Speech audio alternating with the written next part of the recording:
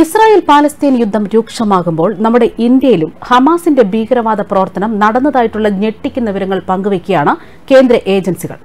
Hamas ഇന്ത്യയിൽ നടത്തിയ operation സാമ്പത്തിക ലക്ഷ്യം വെച്ചായിരുന്നുവെന്നും ഇന്ത്യയിലെ ക്രിപ്റ്റോ ഇടപാടുകളിലും ബിറ്റ്കോയിനിലെ തട്ടിപ്പും ചുക്കാൻ പിടിച്ചത് ഹമാസ് തീവ്രവാദികളായിരുന്നു എന്ന വിവരങ്ങളാണ് കേന്ദ്ര ഏജൻസികൾ പങ്കുവയ്ക്കുന്നത്.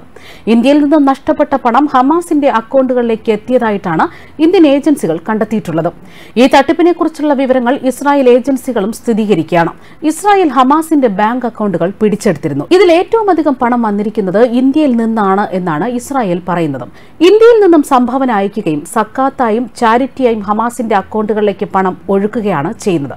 ഹമാസ് വെറുമൊരു ഭീകര സംഘടനയല്ല എന്ന് ഓർക്കണം. മോഷണം പിടിച്ചുപറി ഇന്റർനെറ്റ് തട്ടിപ്പ് അങ്ങനെ സകല കുറ്റകൃത്യങ്ങളിലും ഇവർക്ക് പങ്കുണ്ട്.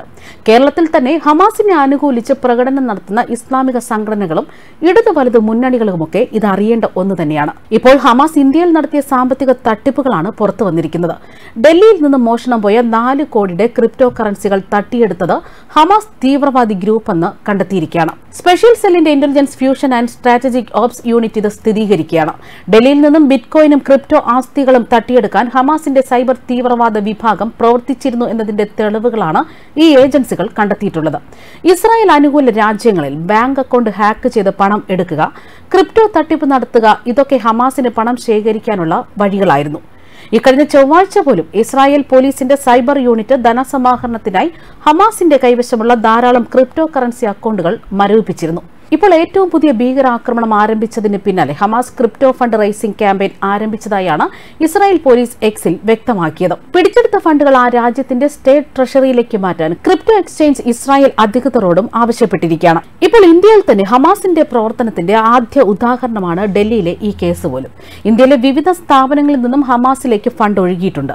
അന്വേഷണത്തിന്റെ വിശദാംശങ്ങൾ ബന്ധപ്പെട്ട അധികാരികളെ അറിയിച്ചിരുന്നതായാണ് സ്പെഷ്യൽ സെൽ ഉദ്യോഗസ്ഥർ പറയുന്നത്. മുൻ ഡി സി പി മൽഹോത്രയുടെ സംഘമാണ് ഈ കേസ് അന്വേഷിച്ചത്. ഞങ്ങളുടെ അന്വേഷണം ഞങ്ങളെ അൽഹസാം ബ്രിഗേഡുകളുമായി ബന്ധപ്പെട്ട നിരവധി ഹമാസ് അക്കൌണ്ടുകളിലേക്കാണ് എത്തിയതെന്നാണ് ഉദ്യോഗസ്ഥൻ പറയുന്നത്.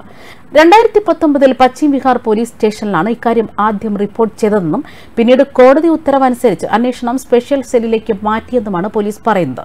ഹമാസ് ബന്ധം കണ്ടെത്തിയതിന് പിന്നാലെ പിടിച്ചെടുത്ത വാലറ്റുകളിൽ ഒന്ന് ഗാസയിലെ നസീർ ഇബ്രഹാം അബ്ദുള്ളയുടെയും ഗാസയിലെ അഹമ്മദ് മസ്തൂറിന്റെയും പാലസ്തീനിലെ റാമല്ല അഹമ്മദ് ക്യൂജ് സഫിയുടെയും ഹമാസ് പ്രവർത്തകരുടെയാണെന്നുമാണ് സാങ്കേതിക വിശകലനത്തിൽ കണ്ടെത്തിയത്.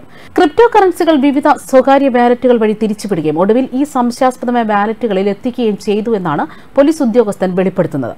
പാലസ്തീനിലേക്ക് മുമ്പ് കേരളത്തിൽ നിന്ന് കോടിക്കണക്കിന് രൂപ പിടിച്ചെടുത്തിരുന്നു. ഈ പണമെല്ലാം പോയിരുന്നത് ഗാസയിലെ ചാരിറ്റി പ്രവർത്തന ഫണ്ടിലേക്കായിരുന്നില്ല. ഹമാസിന് ആയുധങ്ങളും വെടിക്കോപ്പുകളും വാങ്ങാൻ അവരുടെ അക്കൗണ്ടുകളിലേക്കാണ് ഈ പണം പോയത്. ഹമാസിന്റെ അക്കൗണ്ടുകൾ പിടിച്ചെടുത്തതിന് ശേഷമാണ് പ്രധാന പണം വരുന്ന ഉറവിടങ്ങളിൽ ഒന്ന് ഇന്ത്യ ആയിരുന്നു എന്ന വിവരവും പുറത്തുവരുന്നത്. News desk Karma news.